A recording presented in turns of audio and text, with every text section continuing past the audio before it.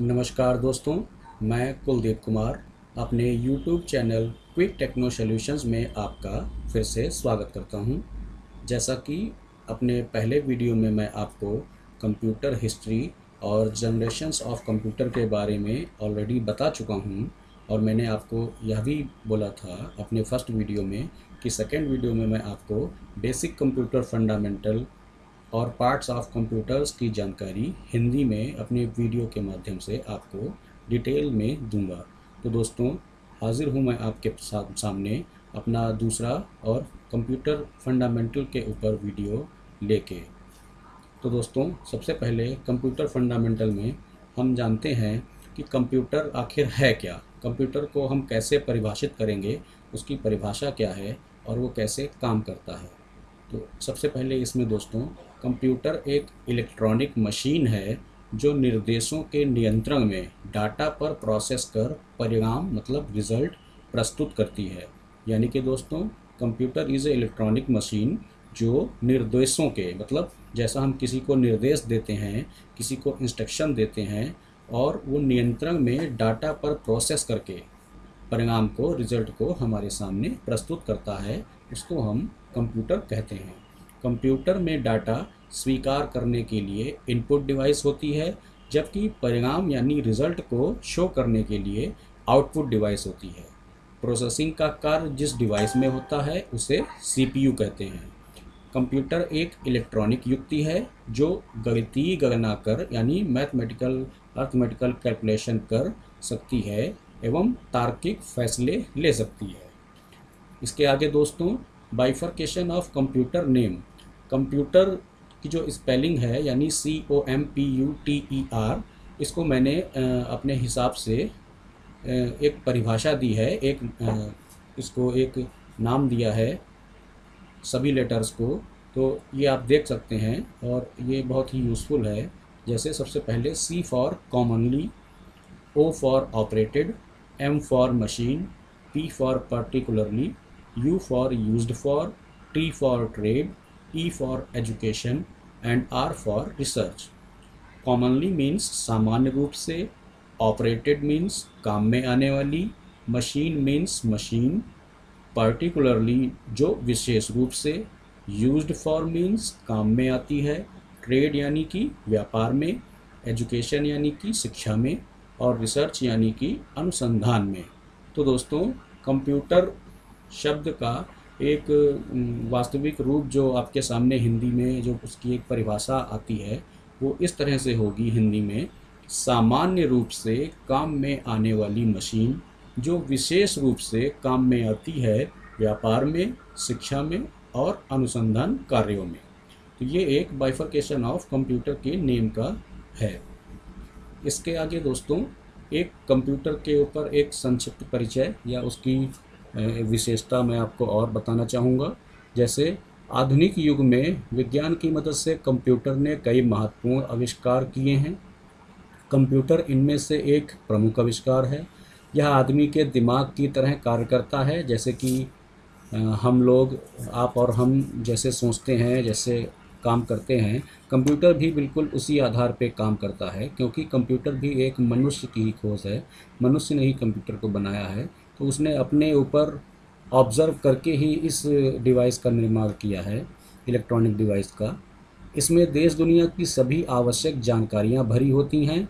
इन जानकारियों को कंप्यूटर याद रखता है तथा मांगे जाने पर, यानी जब भी हमको ज़रूरत होती है तो कंप्यूटर हमको वो जानकारियाँ प्रदर्शित, यानी शो कर देता है।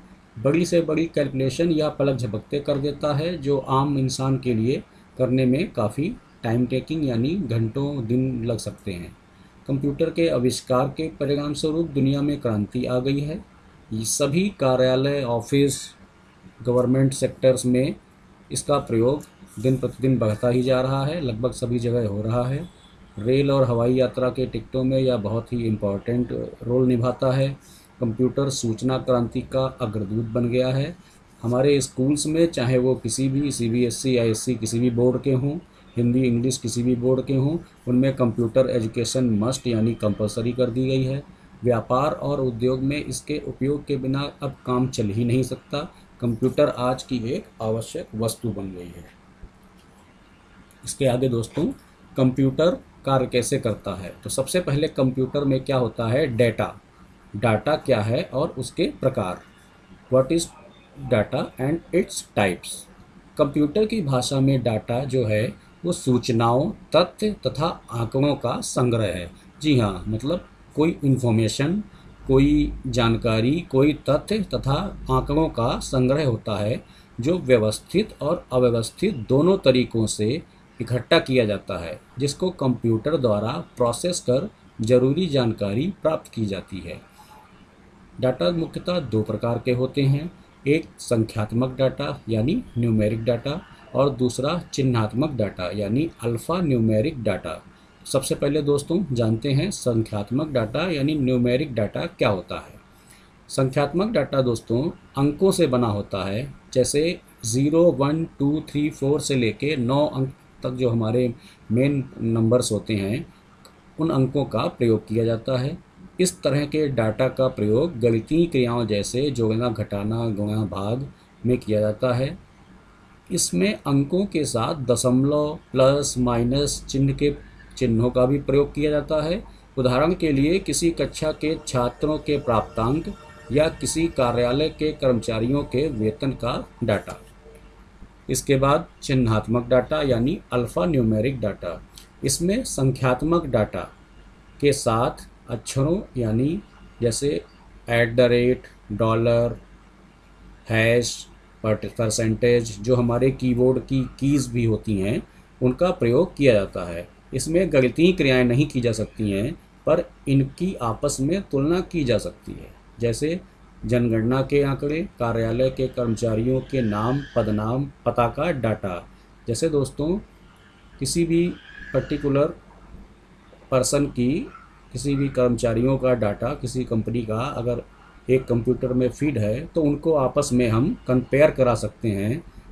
किसी भी एक फ़ील्ड के बेस पे उनको हम शॉर्ट कर सकते हैं फ़िल्टर कर सकते हैं। तो ये सब संख्यात्मक डाटा और चिन्हात्मक डाटा के रूप में करते हैं। तो ये तो हो गया डाटा अब डाटा की जो इन्फॉर्मेशन है, वो कैसे आती है? इन्फॉर्मेशन क्या होता है? तो व्हाट इज़ इन्फॉर्मेशन तो जो दोस्तों डाटा जो हमको समझ में आता है, उसे इन्फॉर्मेशन या सूचना कहते हैं। यानी कि अर्थपूर्ण डाटा जिसका कोई अर्थ हो, उसको सूचना या इन्फॉर्मेशन कहते हैं। इसके अलावा information is the structured format of data मतलब स्ट्रक्चर डाटा जो होता है मतलब डाटा जो एक व्यवस्थित क्रम में होता है, उसको इन्फॉर्मेशन कहते हैं। Information is valuable because it can affect behaviour a decision और एन आउटकम इन्फॉर्मेशन सूचना जो है, वो बहुत ही इंपॉर्टेंट है वैल्यूएबल है। अगर वह किसी व्यवहार को, किसी परिणाम को या किसी रिज़ल्ट आउटकम को प्रभावित करती है। तो दोस्तों, ये हो गया इन्फॉर्मेशन यानी सूचना। इसके बाद दोस्तों हम बात करेंगे कंप्यूटर के सिद्धांत, यानी प्रिंसिपल ऑफ़ कंप्यूटर की। जैसा दोस्तों, सभी लोगों का एक सिद्धांत होता है, आपका, हमारा भी जीवन का एक सिद्धांत होता है, जिस पे हम कार्य करते हैं। उसी तरह से कंप्यूटर का भी एक सिद्धांत होता है। जैसे मान लीजिए, किसी ने आपसे पूछा कि आपका नाम क्या है? तो दोस्तों, ये क्या हुआ? ये सामने वाले व्यक्ति के लिए इनपुट हुआ। जैसे मुझसे किसी ने पूछा कि आपका क्या नाम है? तो ये दोस्तों क्या हो गया? ये मेरे लिए इनपुट हो गया। मतलब ये मेरे कान के द्वारा, कान जो एक हमारी डिवाइस कह लीजिए, कान के द्वारा मेरे अंदर, मेरे माइंड को ये बात सुनाई पड़ी कि आपका क्या नाम है? ये हो गया मेरे लिए इनपुट तो जब ये सवाल मुझे सुनाई पड़ा तो मेरी बुद्धि या मेरे माइंड के अंदर कुछ प्रोसेस हुआ। मतलब मुझे जब ये सवाल सुनाई दिया तो मेरे माइंड में ये प्रोसेस हुआ कि ये सामने वाला बंदा मुझसे क्या पूछ रहा है और मुझे इसको क्या जवाब देना है। तो ऐसा तो नहीं है कि आपका नाम क्या है इसके सवाल के बदले में मैं उस, उसको कुछ भी बता सकता हूँ। तो जो एग्जैक्ट इन्फॉर्मेशन है जो डाटा मुझे मिला उसकी जो एग्जैक्ट इन्फॉर्मेशन है वो मैंने अपने माइंड से प्रोसेस करके उसको आउटपुट दिया कि मेरा नाम कुलदीप कुमार है। तो दोस्तों, ये कंप्यूटर का सिद्धांत होता है कि पहले इनपुट होता है, फिर प्रोसेस होता है और उसके बाद उसका आउटपुट होता है। जो आउटपुट निकल के आता है, जैसे मैंने बोला कि मेरा नाम कुलदीप कुमार है तो ये जो आउटपुट है, इसको दोस्तों हम स्टोरेज भी कर सकते हैं, यानी इसको स्टोर कर सकते हैं, प्राइमरी मेमोरी या सेकेंडरी मेमोरी। मतलब इसको हम स्टोर कर सकते हैं सामने वाला व्यक्ति जिसको मैंने ये जवाब दिया तो वो अपने माइंड में अगर इसको हमेशा के लिए याद रखेगा तो ये मतलब उसके माइंड में ये जो मेरा आंसर है, ये स्टोर हो गया। तो जैसे एक मनुष्य का सिद्धांत होता है, जीने का, जीवन का, उसी तरह कंप्यूटर का भी सिद्धांत होता है।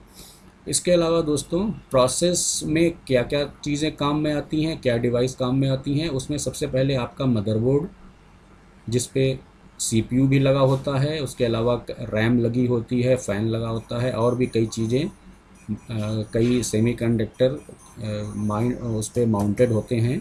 तो एक तो आपका मदरबोर्ड हो गया, उसके बाद सीपीयू, सेंट्रल प्रोसेसिंग यूनिट, जो जिसको प्रोसेसर भी कहते हैं। उसके बाद दोस्तों नेटवर्क कार्ड्स, साउंड कार्ड्स, ये सारे कार्ड्स उस प्रोसेस में काम में आते हैं, जो हमको प्रोसेस करके हमारा आउटकम यानी आउटपुट हमको शो करते हैं। तो इसके अलावा दोस्तों स्टोरेज के भी दो पार्ट होते हैं प्राइमरी स्टोरेज और सेकेंडरी स्टोरेज प्राइमरी स्टोरेज में आपका रैम रोम ईपी रोम आता है और सेकेंडरी स्टोरेज में आपका डीवीडी हार्ड डिस्क या यूएसबी फ्लैश ड्राइव आता है। इसके अलावा दोस्तों, एक कैश मेमोरी भी होती है, जिसको हम स्टोरेज भी कह सकते हैं। इस स्टोरेज के पार्ट्स के बारे में मैं इसी वीडियो में आगे चल के आपको डिटेल से जानकारी दूँगा। तो ये था कंप्यूटर के सिद्धांत। इसके बाद आते हैं दोस्तों पार्ट्स ऑफ़ कंप्यूटर कंप्यूटर के मेन पार्ट्स कौन कौन से होते हैं और उनको किन किन भागों में डिवाइड किया गया है। तो ये मुख्यतः पाँच भागों में डिवाइड किया गया है। सबसे पहले आपका इनपुट डिवाइसेस उसके बाद प्रोसेसिंग डिवाइसेस फिर स्टोरेज डिवाइसेस फिर आउटपुट डिवाइसेस फिर उसके बाद यूज़र तो दोस्तों, ये पाँच मेनली होते हैं आपके पार्ट्स ऑफ़ कंप्यूटर की कैटेगरी इन्हीं के अंदर सारे पार्ट्स आते हैं। तो चलते हैं सबसे पहले इनपुट डिवाइसेस की तरफ़। देखते हैं ये इनपुट डिवाइसेस क्या होती हैं और कंप्यूटर से कैसे काम में आती हैं। तो सबसे पहले जो हमारी इनपुट डिवाइस है, उसको बोलते हैं कीबोर्ड जी हाँ दोस्तों, सबसे मेन हमारे कंप्यूटर की और सबसे मेन की डिवाइस होती है कीबोर्ड जैसा कि आप देख भी रहे हैं, आप सभी ने देखा भी होगा कि कीबोर्ड इस शेप में होता है, उस पर बहुत सारी कीज़ होती हैं। इन कीज़ की अलग अलग कैटेगरी होती है, जैसे कि आप देख रहे होंगे, सबसे पहले ऊपर जो आप लेफ़्ट साइड में है, वो है ई e यानी स्केप की उसके बाद दोस्तों F1, F2, F3, F4 जो है इसको बोलते हैं फ़ंक्शन की उसके बाद इंटर की जो हमको किसी भी परिणाम को प्राप्त करने के लिए क्लिक करनी होती है यानी प्रेस करनी होती है किसी भी कमांड को देने के लिए हमको इंटर की की ज़रूरत पड़ती है। उसके बाद कई सारी कीज़ जैसे डिलीट है स्क्रॉल है इंडिकेटर्स हैं प्रिंट स्क्रीन दोस्तों बहुत लोगों को शायद नहीं पता होगा कि ये जो हमारे कीबोर्ड पे एक ऊपर की रो में एक प्रिंट स्क्रीन की की होती है। इससे दोस्तों, हमारे मॉनिटर पे जो भी प्रेजेंट टाइम में मतलब इस वक्त जो भी हमारे मॉनिटर पे शो हो रहा है, अगर इस प्रिंट स्क्रीन की को हम प्रेस करेंगे तो उसका एक स्क्रीनशॉट यानी उसकी एक इमेज क्लिक हो जाती है, उसकी एक फ़ोटो क्लिक हो जाती है। लेकिन वो हमको कहीं दिखाई नहीं पड़ती है। उसको हम पेंट ब्रश या पेंट ब्रश जैसी और एप्लीकेशंस में जाके अगर हम पेस्ट कमांड सीधे दे दें या कंट्रोल वी अगर प्रेस कर दें तो जो हमारे मॉनिटर पे एज इट इज़ स्क्रीन था, वो वहाँ पे हमको फ़ोटो के रूप में, एक इमेज के रूप में शो कर देता है।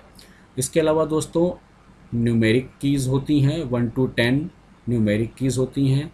उसके अलावा आ control shift caps lock caps lock जैसा कि आप जानते भी होंगे कि अगर कैप्स लॉक ऑन है तो कैपिटल लेटर्स में प्रिंट होता है और अगर कैप्स लॉक ऑफ़ है तो स्मॉल लेटर्स में प्रिंट होता है। इसके अलावा बहुत से सिंबल्स की की है बैक स्पेस मिटाने के लिए शिफ्ट की अप डाउन लेफ़्ट राइट की इन सभी कीज़ का उपयोग हम कंप्यूटर में इनपुट देने के लिए मतलब कुछ भी टाइप करने के लिए, कोई कमांड भी दे, देने के लिए हम कीबोर्ड का प्रयोग करते हैं। कीबोर्ड दोस्तों मार्केट में हमको P S two wireless U S B multimedia और गेमिंग इतने प्रकार के कीबोर्ड हमारी बाज़ार में हमको अभी उपलब्ध हैं। तो इसके बाद दोस्तों बात करते हैं हमारे दूसरे इनपुट डिवाइस की, जो है माउस यह इसको इनपुट डिवाइस भी कहते हैं। यह एक बहुत ही इंपॉर्टेंट डिवाइस है हमारे कंप्यूटर के लिए। कंप्यूटर में दोस्तों माउस का उपयोग किसी भी कमांड को देने के लिए किया जाता है। इस, मेनता इसमें, मुख्यतः इसमें दो कीज़ होती हैं। एक लेफ़्ट की और एक राइट की, जैसा कि आप देख भी रहे हैं इमेज में पिक्चर में। लेफ़्ट की से हम कोई भी कमांड दे सकते हैं। कोई किसी भी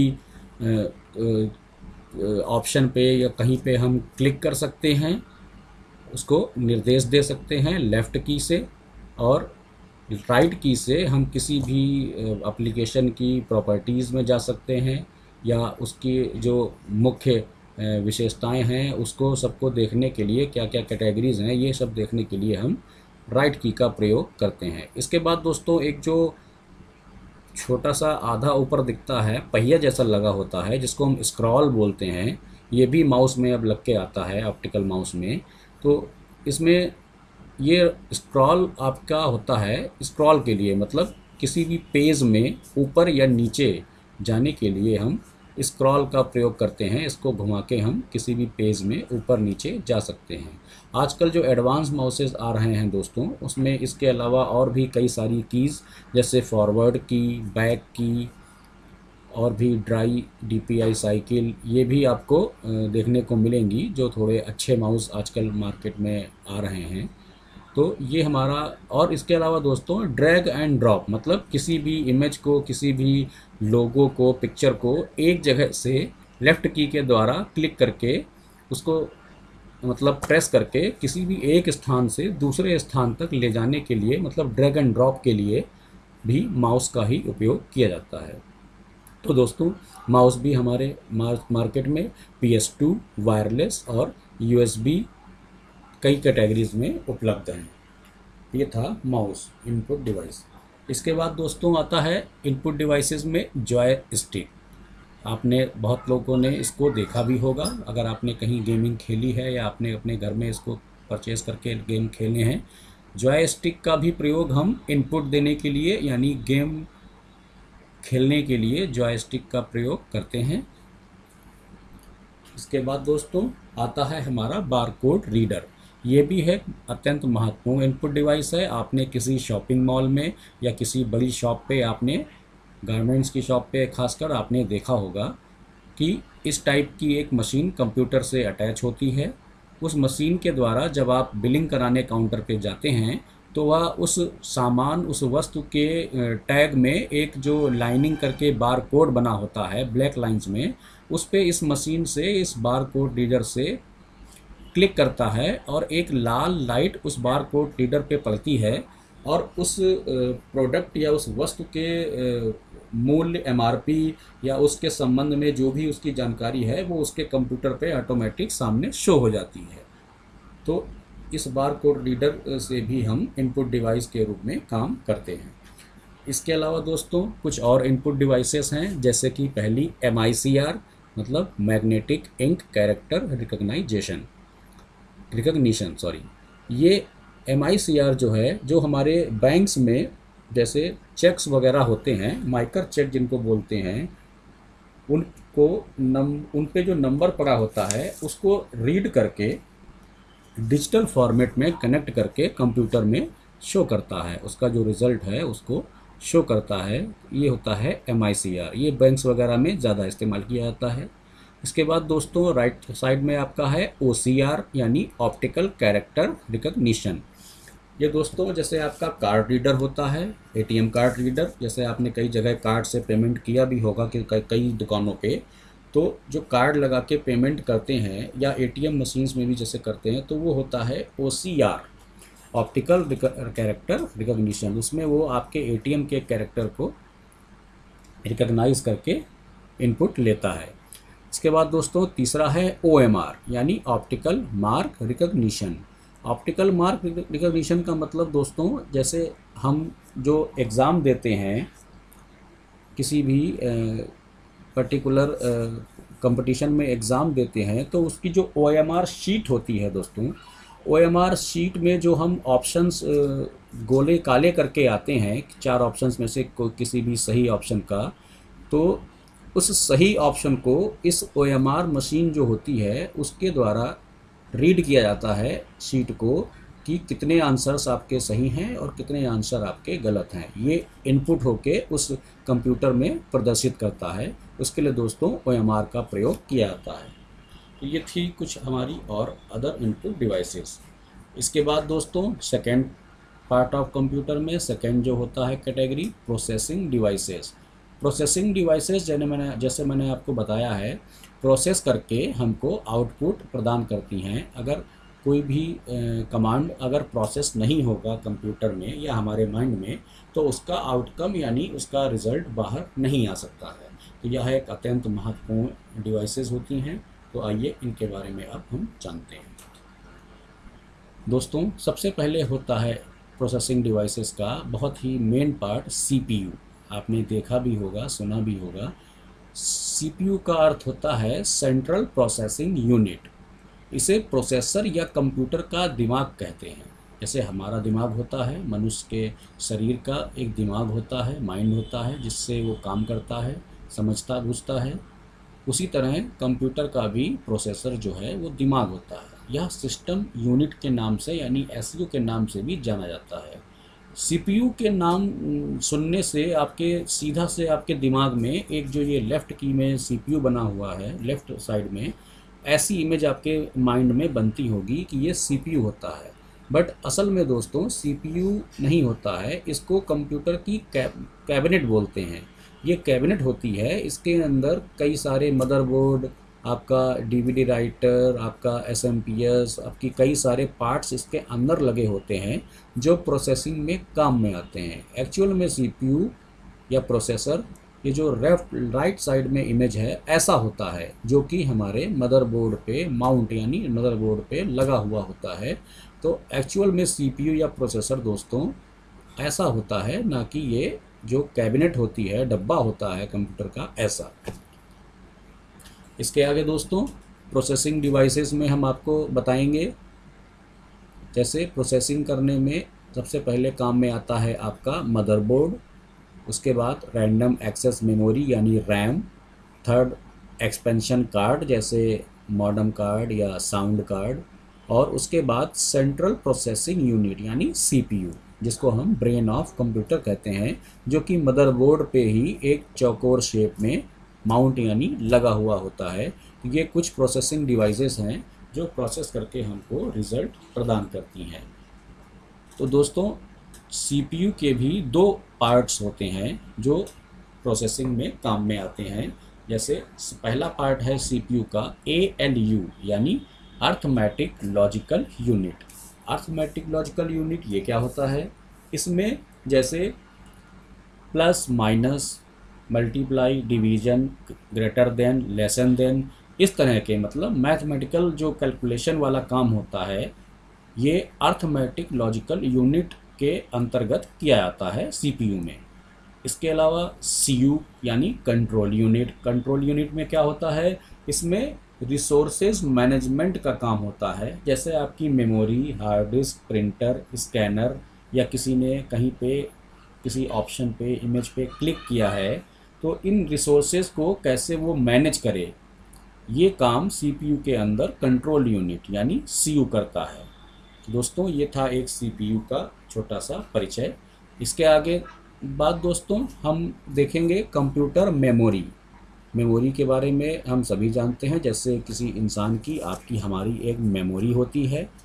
कुछ मेमोरी ऐसी होती हैं जो हम जब चाहें तभी हमको याद आती हैं, हमेशा हमको याद नहीं रहती हैं और कुछ मेमोरी ऐसी होती हैं जो हमेशा हमारे दिमाग में स्टोर हो जाती हैं, हमेशा हमको याद रहती हैं।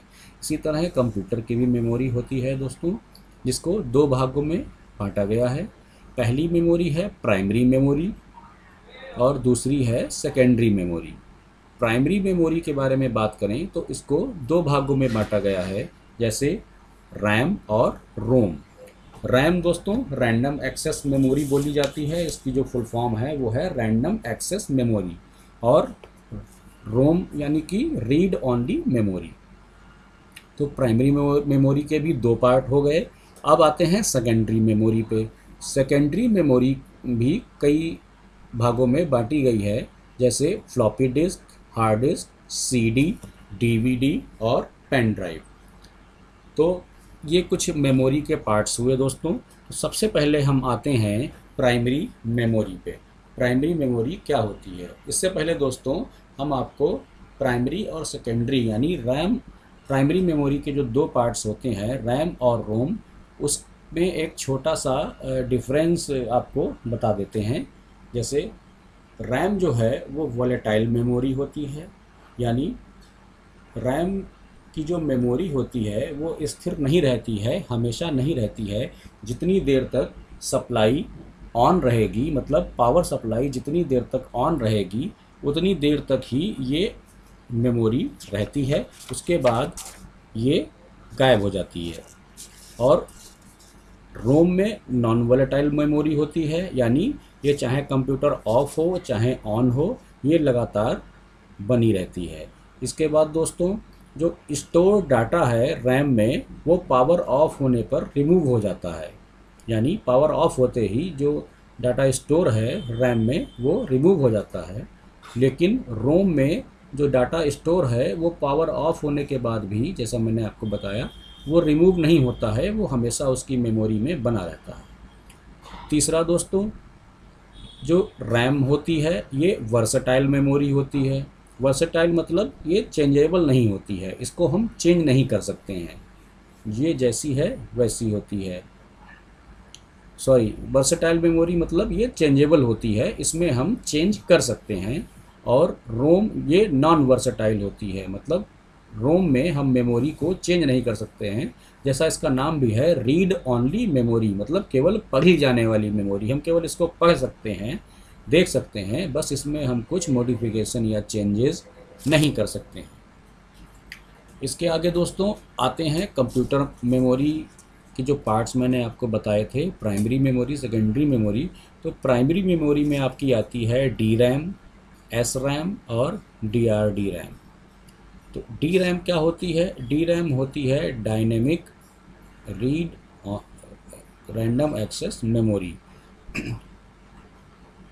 और एस रैम होती है आपकी static random access memory D RAM में क्या होता है दोस्तों? डी रैम में कंटेंट्स को हर सेकंड में रिफ्रेश करती है। जो ये डी रैम है डायनेमिक रैम ये हर सेकंड में मतलब ये जो मेमोरी है, ये इसमें स्टोर नहीं रहती है, इसको हर सेकंड में ये रिफ्रेश करती रहती है। मतलब हर सेकंड में ये चेंज करती रहती है। स्थिर नहीं रहती है। एस रैम एस रैम में डाटा जो स्टोर होता है, वो पावर होने तक कंटेंट को स्टोर रखती है और पावर ऑफ़ होते ही ये कंटेंट को वॉश आउट कर देती है। मतलब अपनी मेमोरी को ये वॉश आउट कर देती है। एस रैम में डाटा परमानेंट स्टोर नहीं रहता है। डी आर डी रैम ये भी एक तरह की मेमोरी होती है। इसके बाद दोस्तों सेकेंडरी मेमोरी सेकेंडरी मेमोरी पे आते हैं तो इसमें पहले होता है पी रोम यानी प्रोग्रामेबल रीड ओनली मेमोरी इसके बाद दोस्तों E P ROM erasable programmable read only memory और तीसरी होती है ई ई पी रोम ठीक है दोस्तों प्रोग्रामल प्रोग्रामेबल मेमोरी यानी पी रोम क्या होती है? इसमें यूज़र जो है, वो केवल प्रोग्राम और डाटा को लोड कर सकता है। मतलब रीड ऑनली मेमोरी है तो इसमें केवल प्रोग्राम लोड हो सकते हैं इंस्टॉल हो सकते हैं बट इसको हम चेंज नहीं कर सकते हैं। फिर आते हैं E P ROM erasable programmable memory इसमें क्या होता है, इसमें वेरिएशन ऑफ़ ये एक वेरिएशन ऑफ़ पी रोम है मतलब पी रोम की तरह ही ये कार्य करती है, लेकिन दोस्तों ये री राइटेबल है। मतलब इसमें जो हम, कोई कंटेंट है, उसको इरेज करके अल्ट्रा वायलेट लाइट के द्वारा उसको इरेज करके उसके ऊपर दूसरा प्रोग्राम या कंटेंट हम लिख सकते हैं लोड कर सकते हैं। तीसरी दोस्तों फ्लैश मेमोरी जो होती है, ये इलेक्ट्रिकली इरेजेबल मतलब इलेक्ट्रिकली उसको हम इरेज कर सकते हैं, मिटा सकते हैं। और जैसे, और ये परमानेंट टाइप मेमोरी होती है, जो डिजिटल कैमरा एम प्लेयर वगैरह में काम में आती है। ये था दोस्तों कंप्यूटर मेमोरी के बारे में एक छोटा सा परिचय। इसके अलावा दोस्तों एक और मेमोरी होती है, कैश मेमोरी। जो लोग कंप्यूटर पढ़े हैं, वो इसके बारे में सुने भी होंगे। कैश मेमोरी क्या होती है दोस्तों? यह मेन मेमोरी की सहायक मेमोरी होती है। जो मेन मेमोरी हमारी होती हैं, रैम, रोम, ये उनकी सहायक मेमोरी होती है। ये सीपीयू और मेन मेमोरी के बीच कैश मेमोरी का एक अहम रोल होता है। जितनी ज़्यादा हमारे कंप्यूटर में कैश मेमोरी होगी, हमारे सिस्टम की स्पीड उतनी ज़्यादा ही काम करती है। जैसा कि आप इस डायग्राम में देख भी रहे होंगे कि सीपीयू के बाद आर इंस्ट्रक्शन, डाटा, एड्रेस तो उसके बाद L1 कैश है, फिर L2 L3 कैश, उसके बाद मेमोरी और उसके बाद वर्चुअल मेमोरी यानी हार्ड डिस्क। तो सभी सीपीयू और हमारे इनपुट डिवाइसेस और मेमोरी के बीच में ये कैश मेमोरी काम करती है। कैश मेमोरी के बिना हमारे कंप्यूटर की जो स्पीड है, वो अच्छी नहीं रहेगी। आगे दोस्तों मेमोरी यूनिट यानी मेमोरी को हम किस मात्रा में नापते हैं, जैसे सभी की एक मात्रा होती है, उसे मेमोरी की भी एक मात्रा होती है, मात्रक होता है तो उसका कुछ बाइफर्केशन मैं आपको देना चाहूँगा। जैसे memory devices are to store the data for later reference मतलब मेमोरी डिवाइसेस में जो डाटा स्टोर होता है लेटर रेफरेंस मतलब भविष्य में उसको हम यूज़ कैसे करें, उसके लिए मेमोरी का डाटा मेमोरी में डाटा स्टोर किया जाता है। Smallest measurement unit of memory is bit आप लोगों ने सुना भी होगा बिट यानी कि ज़ीरो और वन जैसा कि कंप्यूटर केवल डिजिटल फॉर्म की भाषा ज़ीरो और वन दो ही कैरेक्टर को समझता है। चाहे आप किसी भी लैंग्वेज में कंप्यूटर में इनपुट दें, कुछ भी दें, मगर वो उसको डिजिटली ज़ीरो वन की शेप में कन्वर्ट करके डिजिटली ही उसको वो समझता है और किसी भाषा को कंप्यूटर या प्रोसेसर नहीं समझता है। तो ज़ीरो और वन जो होते हैं, उनको हम कहते हैं बिट तो एट बिट्स मिलके एक बाइट बनता है। एक हज़ार चौबीस बाइट्स मिलके एक किलोबाइट बनता है, एक हज़ार चौबीस किलोबाइट मिलके एक मेगा मेगाबाइट बनता है, एक हज़ार चौबीस मेगाबाइट मिलके एक गीगाबाइट बनता है। एक एक इसी तरह एक हज़ार चौबीस गीगाबाइट यानी जीबी बन के एक टेराबाइट मिल, बनता है। एक हज़ार चौबीस जी बी या जी आप लोग जानते भी होंगे, आपके मोबाइल में जो आपको रिचार्ज कराने पे डाटा मिलता है, वो भी एक जी बी डेढ़ जी बी यानी वो एक हज़ार चौबीस एम बी अगर अगर आपको एक जी बी डाटा मिला है तो इसका मतलब आपको एक हज़ार चौबीस एम बी मिला है वन जी बी डाटा इसके बाद एक हज़ार चौबीस जी बी बराबर एक हज़ार टे, एक टेराबाइट सॉरी इसके बाद एक हज़ार चौबीस टी बी बराबर एक पेटाबाइट तो ये था दोस्तों मेमोरी यूनिट इसके बाद हमारी third category parts of computer की दोस्तों स्टोरेज डिवाइसेस या भी एक बहुत ही अत्यंत महत्वपूर्ण डिवाइसेस होती हैं। इनके बिना हम कंप्यूटर पे काम नहीं कर सकते हैं। आइए इनके बारे में भी हम जानते हैं। स्टोरेज डिवाइसेस में दोस्तों, कई सारी डिवाइसेस आती हैं। जैसे कि आप देख भी रहे होंगे hard disk RAM ROM CD या DVD floppy disk memory card pen drive और टेप। इन सभी में दोस्तों, ये सब इनको सेकेंडरी मेमोरी भी कहते हैं। जैसा मैं आपको बता चुका हूँ वीडियो में सेकेंडरी मेमोरी या स्टोरेज डिवाइसेस मतलब इसमें हम डाटा स्टोर करके कहीं भी ले जा सकते हैं और अपने पास हमेशा के लिए सुरक्षित रख सकते हैं। सबसे पहले दोस्तों हम बात करेंगे स्टोरेज डिवाइसेस में, यानी सेकेंडरी मेमोरी में hard disk drive hard drive की। जैसा कि आपने अपने कंप्यूटर में सुना भी होगा C D E drive partition तो ये जो सी डी ई ड्राइव हैं, ये हमारे हार्ड डिस्क के पार्टीशन यानी हार्ड हार्ड डिस्क के भाग होते हैं। इनको अलग अलग एक हार्ड डिस्क को विभाजित किया जाता है अलग अलग बाइट्स में। वही आपको सी डी ई ड्राइव करके आपके माई कंप्यूटर में शो होते हैं। इसमें दोस्तों हार्ड हार्ड ड्राइव में एक स्पिंडल होता है, जैसा कि आप देख रहे हैं, एक रीड राइट हेड होता है और जो इस पर फ़ाइल सेव होती हैं, वो सेव फ़ाइल का ये एक चक्का बना हुआ है, इसमें होता है। एक जो ये डिस्क आपको दिख रही है सी डी डी की तरह, ये आर पी एम में राउंड करती है बहुत तेज़ से, जैसे कि आपने अपने डी वी डी प्लेयर या सी डी प्लेयर में देखा भी होगा। तो ये बहुत तेज़ राउंड करती है और जो डाटा इनपुट आप देते हैं, उसको प्रोसेस करके उसका जो आउटपुट निकलता है, अगर आप चाहते हैं तो इस पर स्टोर हो जाता है, जो आप कभी भी अपने यूज़ में, काम में ला सकते हैं। इसके बाद दोस्तों, दूसरा हमारा होता है डीवीडी यानी डिजिटल वर्सटाइल डिस्क, इसका पूरा नाम है। ये रीराइटेबल भी होती है, यानी आप इस पर डाटा कुछ लोड करके, सेव करके, उसको दोबारा मिटा के कुछ और डाटा डाल सकते हैं। और रीड ऑनली ये दोनों तरह की कैटेगरी में हमारी मार्केट में उपलब्ध है। इसमें अधिकतम डाटा जो होता है अप्रॉक्सीमेटली वो 4.7 पॉइंट की कैपेसिटी की डीवीडी मार्केट में उपलब्ध होती है। इसके बाद आता है आपका सी डी रोम यानी compact disk read only memory इसको सी डी भी बोलते हैं। ये अब थोड़ा प्रचलन में कम है दोस्तों क्योंकि इसमें जो कैपेसिटी है, इसमें डाटा जो जितना आता है स्टोर होता है, उसकी क्षमता केवल 650 से 700 सौ तक होती है। इसलिए इसका यूज़ अब थोड़ा कम हो गया है।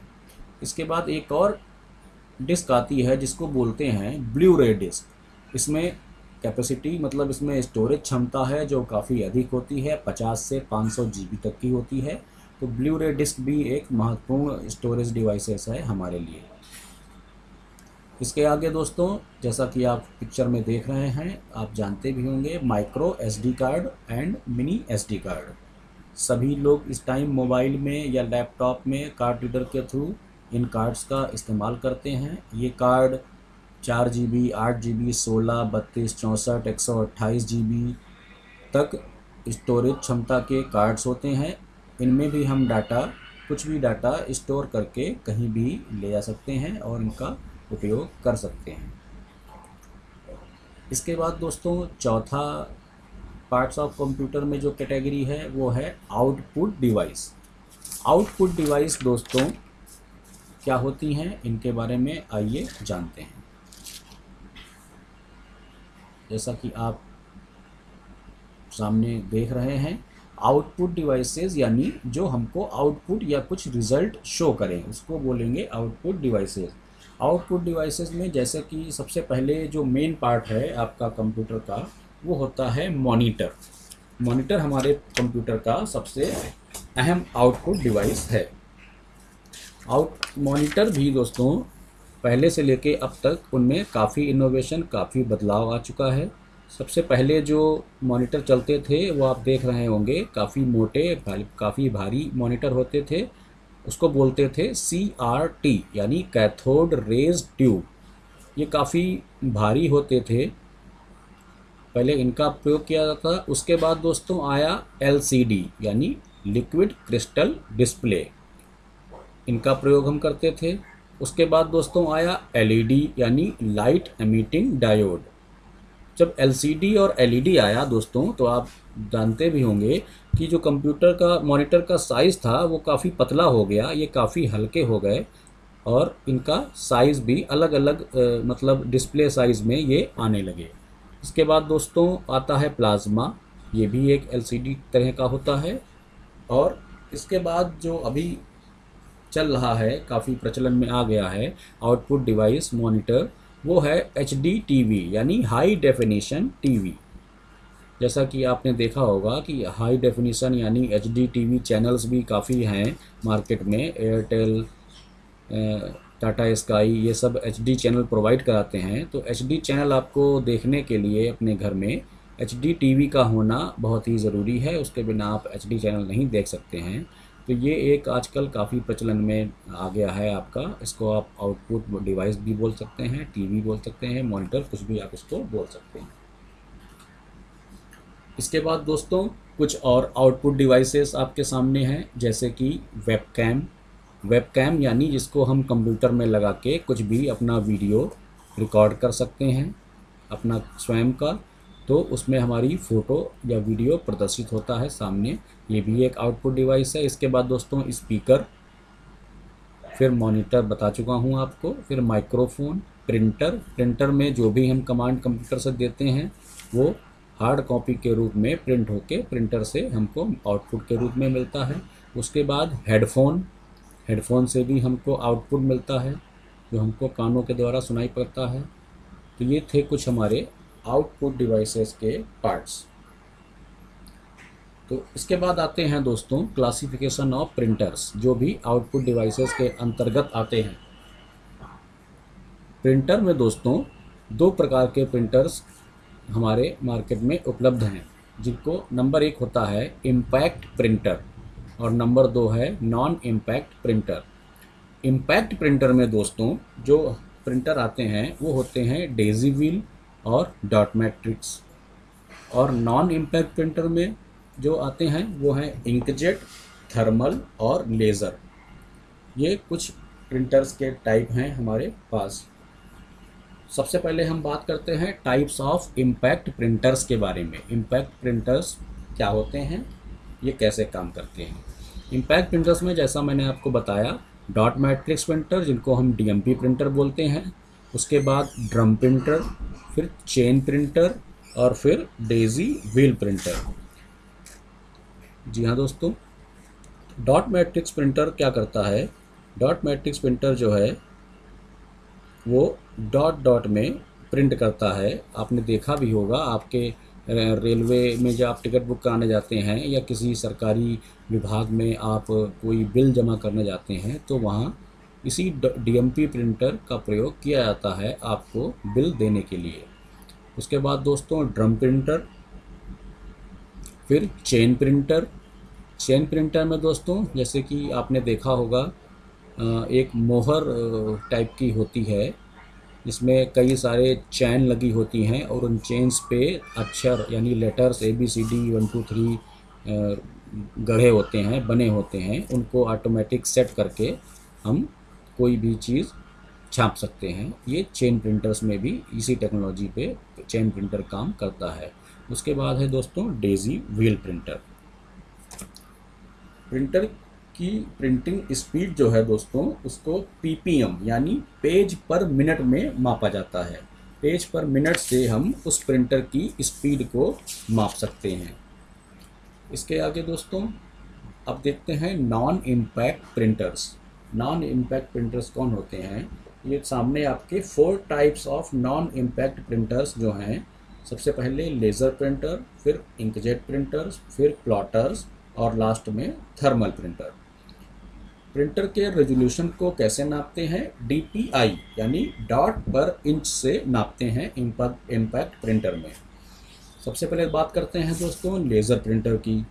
लेज़र प्रिंटर में दोस्तों टोनर यूज़ किया जाता है, जो कि कार्टेज में भरा होता होता है और इसमें ब्लैक एंड वाइट और कलर दोनों टाइप के प्रिंटर आते हैं, बट कलर प्रिंटर थोड़ा महँगा पड़ता है, इसलिए इसका ज़्यादातर इस्तेमाल हम ब्लैक एंड वाइट प्रिंटिंग में ही करते हैं। इसकी स्पीड काफ़ी ज़्यादा होती है, जैसे मैंने आपको बताया था कि ये पेज पर मिनट में कार्य करता है। इसकी जो कैपेसिटी है उसको प्रिंटिंग की, पेज पर मिनट, यानी पीपीएम में हम मापते हैं।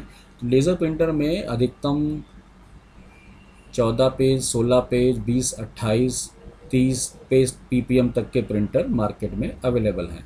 इसके बाद दूसरा प्रिंटर दोस्तों इंकजेट प्रिंटर इंकजेट प्रिंटर में पेपर पर इंक की स्प्री, स्प्रे होता है। पहले जब हम कोई कमांड देते हैं तो पेज पर इंक की स्प्रे करता है, फिर प्रिंट करता है। इसमें दोस्तों, ब्लैक एंड वाइट और कलर जो प्रिंट है, वो एक साथ हम कर सकते हैं। इसके लिए हमको अलग अलग कमांड देने की ज़रूरत नहीं होती है।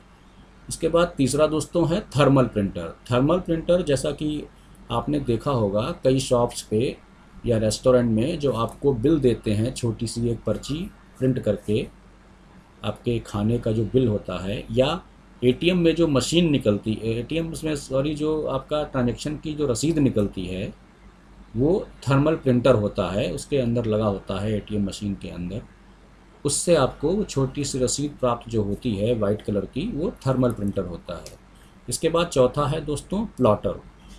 जैसे आपको कोई बहुत बड़ा फ्लैक्स या बहुत बड़ा पोस्टर अगर छपवाना है, बड़े साइज़ का, मान लीजिए तीन बाई छः साइज़ का कोई पोस्टर या कोई इमेज आपको छपवानी है तो उसमें ये सारे प्रिंटर्स जो पहले मैं आपको बताए हैं, ये काम में नहीं आते हैं, क्योंकि इनमें केवल ए फोर लीगल साइज़ के पेपर ही लग सकते हैं। तो उसके लिए दोस्तों प्लॉटर का यूज़ करते हैं। जैसा कि फ्लैक्स मशीन कहीं अगर आपने देखी होगी काम करते हुए तो उसमें देखा होगा कि काफ़ी बड़े बड़े बैनर, पोस्टर जो प्रिंट होते हैं, वो प्लॉटर में प्रिंट किए जाते हैं। ये थे दोस्तों type of non impact printers इसके बाद एक और इनपुट और आउटपुट डिवाइस का एक संयुक्त होता है। आउटपुट डिवाइस जिसको एमएफडी बोलते हैं, यानी मल्टी फंक्शनल डिवाइसेस इसमें सबसे पहले आता है आपका फैक्स जैसा कि आप देखे भी होंगे और सामने इमेज में देख भी रहे हैं कि फैक्स में आपका जनरली तो ये फैक्स कहीं करने के लिए, यानी हमारा जो हार्ड कॉपी है, उसको इलेक्ट्रॉनिकली कहीं दूसरी जगह भेजने के लिए हम फैक्स का इस्तेमाल करते हैं। लेकिन उसके अलावा फैक्स में आपका फ़ोन भी जुड़ा होता है फ़ैन फ़ोन भी होता है, और इसमें कॉपियर भी आप मतलब फ़ोटो कॉपी भी आप कर सकते हैं मतलब मल्टी फ़ंक्शन मतलब मल्टी यूज़ में हम फैक्स को लाते हैं इसलिए ये एमएफडी डिवाइस हो, होती है आउटपुट डिवाइस और इसके बाद ऑल इन वन प्रिंटर आपने देखे होंगे बड़ी बड़ी शॉप्स में कंप्यूटर की शॉप्स में आपने देखा होगा प्रिंटिंग वाली जगह पे बड़ी बड़ी मशीनें जो लगी होती हैं वो ऑल इन वन प्रिंटर रखती हैं जिसमें आप प्रिंट भी कर सकते हैं कोई डॉक्यूमेंट को स्कैन करके अपने कंप्यूटर में ला सकते हैं कॉपी भी कर सकते हैं फ़ोटो कॉपी भी कर सकते हैं और फैक्स भी कर सकते हैं। ये चार मल्टी मतलब टास्क आप एक ही मशीन से कर सकते हैं। उनको ऑल इन वन प्रिंटर बोला जाता है दोस्तों। ये लेज़र और इंकजेट दोनों में उपलब्ध हैं मार्केट में। लेज़र थोड़ा महँगा आता है। एमएफडी यानी मल्टी फंक्शनल डिवाइसेस में ये दो टाइप की डिवाइसेस मार्केट में आती हैं।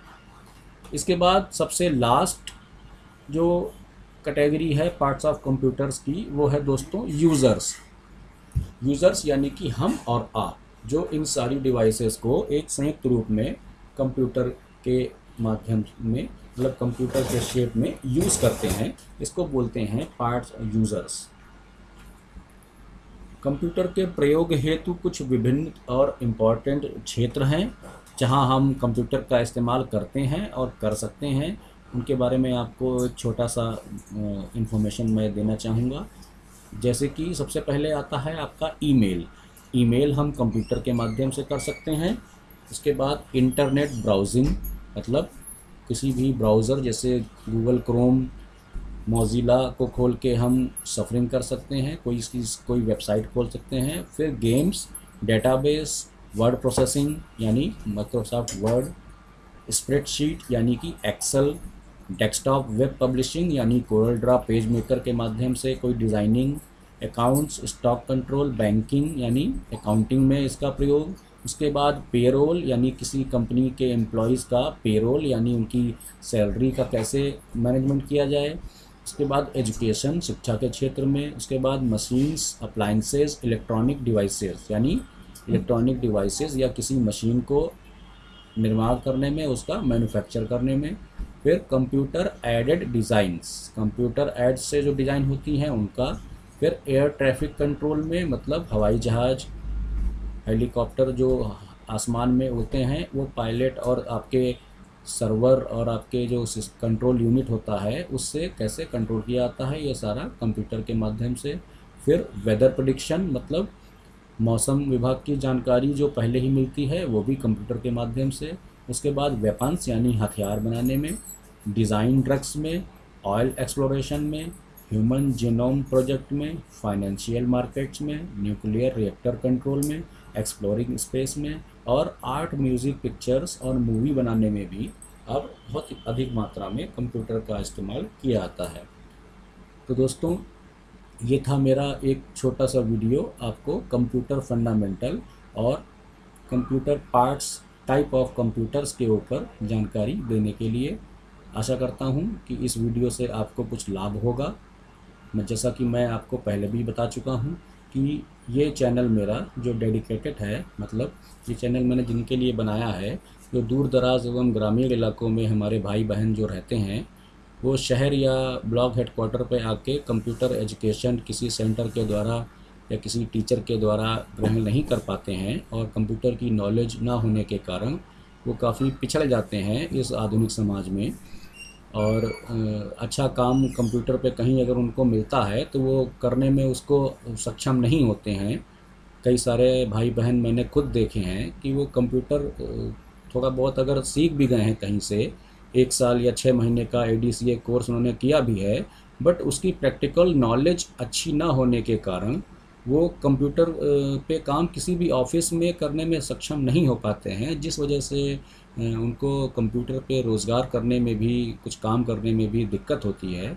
तो वो भाई बहन मेरे इस वीडियो के, इस चैनल के माध्यम से ऑनलाइन आके एक्सपर्ट बन सकते हैं। प्रैक्टिकली कंप्यूटर की नॉलेज, थ्योरी कम, प्रैक्टिकल ज़्यादा, यही मेरा टैगलाइन है। इसके द्वारा वो कंप्यूटर चलाना और कंप्यूटर पे अच्छा खासा वर्क करके अपनी कुछ अर्निंग करना सीख सकते हैं। जैसा कि मैंने अपने इस वीडियो में, अपने इस इमेज में आपको दिखाया भी है, इस वीडियो के माध्यम से, इस चैनल के माध्यम से आप computer hardware computer application computer networking M S Word M S Excel M S PowerPoint basic practical knowledge of computer सबसे मेरा जो ज़ोर रहेगा जो मेरा वो रहेगा, वो सबसे ज़्यादा best basic practical knowledge of computer पे ही रहेगा। प्रैक्टिकल नॉलेज में ज़्यादा आपको दूँगा अपने वीडियोस के माध्यम से। उसके बाद how can use social media to earn money मतलब सोशल मीडिया का यूज़ अभी तक हम सिर्फ़ टाइम पास के लिए या सिर्फ़ एक दूसरे से जुड़ के अपने विचारों को दे आदान प्रदान करने के लिए ही करते हैं। लेकिन social media social media applications का यूज़ हम पैसे कमाने के लिए कैसे कर सकते हैं? कुछ अर्निंग करने के लिए कैसे कर सकते हैं? ये भी मैं अपने वीडियोस के माध्यम से आगे आपको बताऊँगा। उसके बाद preparation of triple C exams preparation of triple C exams जैसे कि ट्रिपल सी आजकल सभी गवर्नमेंट सेक्टर्स में, सभी नौकरियों में कंपलसरी कर दिया गया है, चाहे वो किसी भी पोस्ट के लिए हो। ट्रिपल सी एग्ज़ाम क्वालिफाई होना बहुत ही ज़रूरी है। हमारे बहुत सारे भाई बहन इसके एग्ज़ाम किसी सेंटर के माध्यम से या पर्सनली फॉर्म भर के ऑनलाइन दे, देते भी हैं। बट बहुत से हमारे भाई बहन इसमें सक्सेस नहीं हो पाते हैं क्योंकि कंप्यूटर की नॉलेज उनको थोड़ा कम होती है। तो उनके लिए भी मैं ट्रिपल सी एग्ज़ाम्स के कुछ पेपर्स के माध्यम से उनको मैं जानकारी दूँगा या कैसे तैयारी करें ट्रिपल सी एग्ज़ाम देने की। वो भी मैं आपको अपने वीडियो के माध्यम से बताऊँगा। And not but not least digital marketing दोस्तों डिजिटल मार्केटिंग का इस्तेमाल आजकल बहुत ही ज़्यादा प्रचलन में आ चुका है। जैसा कि आप किसी भी वीडियो या किसी भी साइट पे वेबसाइट पे आप देखते होंगे, बहुत सारे कंपनियों की एड्स उनके प्रचार आपको दिखते हैं। ये सारा डिजिटल मार्केटिंग के तहत ही होता है। तो अब अगर आप कोई व्यापारी हैं छोटी सी शॉप चलाते हैं या भविष्य में कोई बिज़नेस प्लान कर रहे हैं तो डिजिटल मार्केटिंग की जानकारी होना मतलब अपने प्रोडक्ट, अपनी सर्विस को आप सोशल मीडिया पे कैसे उसका प्रचार प्रसार कर सकें, क्योंकि आजकल ऐसा कोई भी बंदा नहीं है जिसके पास मोबाइल नहीं है और वो सोशल मीडिया से जुड़ा हुआ नहीं है। तो कंप्यूटर पे हर वक्त हर आदमी नहीं रह सकता है ऑनलाइन, मगर मोबाइल पे हर वक्त आदमी ऑनलाइन रहता है और कभी भी आप उसको अपने प्रोडक्ट अपनी सर्विसेज़ के जानकारी सोशल मीडिया के प्लेटफॉर्म के माध्यम से आप दे सकते हैं उसको। तो ये डिजिटल मार्केटिंग भविष्य में बहुत ही इंपॉर्टेंट है और होने वाला है। तो इसकी जानकारी भी मैं आपको वीडियोस के माध्यम से दूँगा। तो दोस्तों, अगर ये मेरा वीडियो आपको पसंद आया हो, आपके लिए कुछ यूज़फुल हो और अभी तक आपने सब्सक्राइब बटन पर क्लिक ना किया हो तो कृपया इस लाल आइकन यानी सब्सक्राइब बटन जो लिखा होगा वीडियो के नीचे, उस पर आप क्लिक करके मेरे चैनल को सब्सक्राइब करें और एक, उसके बाद एक छोटा सा घंटी का आपको आइकन प्रदर्शित होगा, उस बेल आइकन को आप क्लिक करके मेरे जो अगले वीडियोस की नोटिफिकेशन यानी सूचना है, वो आप तक सबसे पहले पहुँचे, इसके लिए आप इस घंटी के आइकन को दबाना ना भूलिएगा। मेरे आप यूट्यूब चैनल, जो कि youtube.com वेबसाइट या आपके मोबाइल में जो ऐप होता है यूट्यूब का, लाल रंग का, उस पर आप जाके क्विक टेक्नो सॉल्यूशंस जो मेरा यूट्यूब चैनल का नाम है, उसको भी आप डायरेक्टली सर्च करके मेरे यूट्यूब चैनल पे पहुँच सकते हैं। इसका मैंने एक लिंक भी नीचे आपको दे रखा है अपने चैनल का। तो दोस्तों, ये था मेरा एक छोटा सा वीडियो। आशा करता हूँ कि आपको ये पसंद आया होगा। आगे भविष्य में मैं आपको ये हाँ दोस्तों, एक बात मैं आपको और बता दूँ कि कंप्यूटर फंडामेंटल पे ये मेरा पार्ट वन है, चूँकि वीडियो काफ़ी बड़ा हो जाता है और अपलोड करने में दिक्कत होती है, इसलिए मैंने इसको दो पार्ट में बनाया है। ये मेरा पहला पार्ट है कंप्यूटर फंडामेंटल का। कंप्यूटर फंडामेंटल का जो सेकेंड पार्ट है पार्ट टू वो भी बहुत जल्दी मैं आपको शेयर करूँगा। उसको देख के भी पूरे कंप्यूटर फंडामेंटल की जानकारी घर बैठे आप फ्री में ले सकते हैं। धन्यवाद।